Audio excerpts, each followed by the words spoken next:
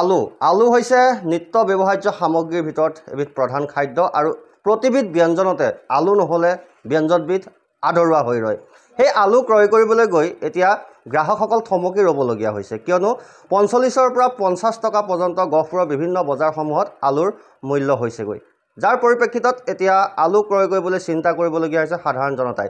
পশ্চিমবংগত ট্ৰাকসমূহ এতিয়াও আবদ্ধ হৈ থকা কথা পোহৰলৈ আহিছে আৰু তাৰ পাছত কিন্তু এতিয়াও আলুৰ মূল্যসমূহ বহু বৃদ্ধি পাইছে। মোৰ সতীৰ্থই দেখাব মই গহপুৰৰ বালিজানৰ বিলতীয়াৰ এখন বিপণীত উপস্থিত আছোঁ আৰু এনেদৰে আলু ক্ৰয় কৰিবলৈ গ্ৰাহকসকল আহিছে আৰু আলু ক্ৰয় কৰিবলৈ গ্ৰাহকসকল আহি আলুৰ দাম শুনি তেওঁলোক চিন্তাত পৰিছে। কিয়নো এতিয়া এমাহ হ'ল পশ্চিমবংগৰ মমতা চৰকাৰে অসমলৈ সোমাব দিয়া নাই আলু অনা যিসমূহ বাহন।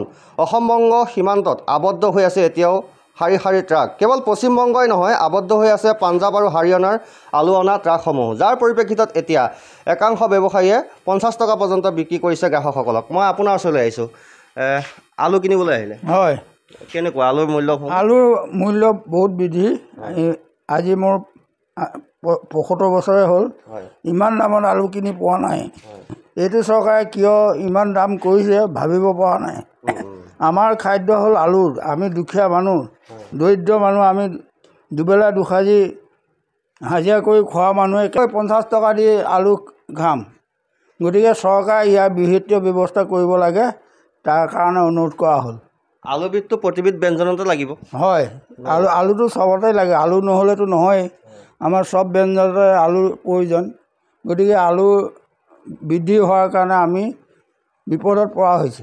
হয় ৰাইজ বিপদত পৰিছে। যেতিয়া এক কেজি আলু নিবলৈ অহা হয় যেতিয়া পঞ্চল্লিছৰ পৰা পঞ্চাছ টকা দাম হয় কেনেকুৱা এক সমস্যা হয় বা কেনেদৰে এতিয়া সকলোখিনি মিলাবলগীয়া হৈছে? মানে অসুবিধা বহুতেই অসুবিধা হৈছে কাৰণ কেলৈ ইমান দুখীয়া মানুহ আছে। আমাৰ অসমতো প্ৰায় দুখীয়া মানুহে আছে। দুখীয়া মানুহে যদি পঞ্চাছ টকা যদি আলুতেই যায় দালিত যায় এশ টকা মিঠাতেলৰ ডেৰশ টকা তেতিয়াহ'লে আৰু কেনেকৈ মানুহ পৃথিৱীখন চলিব? এই আলুসমূহ আচলতে নাটনি দেখাই দিয়ে যিহেতু পশ্চিমবংগত এমাহ ধৰি আলু ট্ৰাকসমূহ বন্ধ হৈ আছে। তাৰ ফল আপোনালোকে ভুগিছে নিশ্চয়? অঁ আমি ভুগিবলগীয়া হৈছে কাৰণ কেলৈ তেওঁলোকেতো বন্ধ কৰাই দিছে গাড়ীখন বন্ধ কৰাই দিছে মাজত ধৰি। কিন্তু আমাৰ অসুবিধা এতিয়া আলু নাই। আলুৰ দাম বঢ়াইছে। সেইটো হৈছে প্ৰব্লেম এতিয়া আলুবিধ প্ৰতিবিধ ব্যঞ্জনতে লাগে। নহয় জানো গতিকে দৈনিক কিমান এক কেজি আলু লাগেই মোটামুটি? মোটামুটি এক কেজিটো এক কেজি মোট- মোটামুটি লাগে। এক কেজি কিছু আমাৰ নিচিনা মানুহৰ ঘৰতো এক কেজি হয়। কিছুমানতো পাঁচ কেজিলৈকে লাগে। ভাল ভাল মানুহ আছে সৰহ মানুহ আছে। তাৰ কাৰণে বেছি লাগে। পৰিয়াল ডাঙৰ। আলুৰ সমান্তৰালকৈ সকলোৰে সামগ্ৰীৰ মূল্য বৃদ্ধি হৈছে? হয় হয় হয়। প্ৰত্যেক প্ৰত্যেক বস্তুৰে। পেট্ৰলৰে চাবানে ডিজেলৰে চাবানে মানে প্ৰত্যেকৰে আৰু দামটো বাঢ়িছে। সেইটো অসুবিধা হৈছে মানুহৰ। নিশ্চয়। আৰু এনেদৰে এতিয়া আলুৰ ৰাজনীতি চলিছে বজাৰসমূহত কিয়নো আলু ক্ৰয় কৰিবলৈ এতিয়া এশবাৰ চিন্তা কৰিবলগীয়া হৈছে পঞ্চল্লিছৰ পৰা পঞ্চাছ টকা পৰ্যন্ত পাইছেগৈ।